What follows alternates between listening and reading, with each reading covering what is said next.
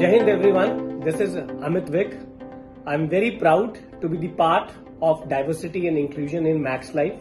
Very few companies are working on D&I these days and I'm very proud to share that Max Life is one company which has been always driving D&I across its employees and across its segments.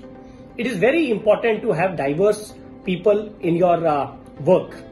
Diversity is not about just gender, it is about the way of life. It is a philosophy for the companies, it is philosophy for the business heads. Diversity gets lot of new ideas, lot of diverse ideas from everywhere. Diversity for me is the backbone of the company.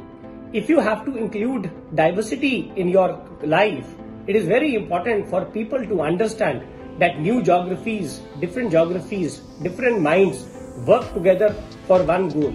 And that one goal is culture. D&I is very rich in Max Life. In my own defense business, we are at about 18% of diversity. I would want to encourage everyone in defense to work towards diversity and inclusion. Diversity is just not for gender. It is also about including specially abled people. And I'm very proud and I'm very happy that in my business in defense, there are a lot of people who have come from different different backgrounds and who are giving their ideas to us and those ideas are getting implemented. With this, I would like to encourage each of you to take diversity and inclusion very seriously. It is our job as corporate social responsibility to get into D&I and make new headways.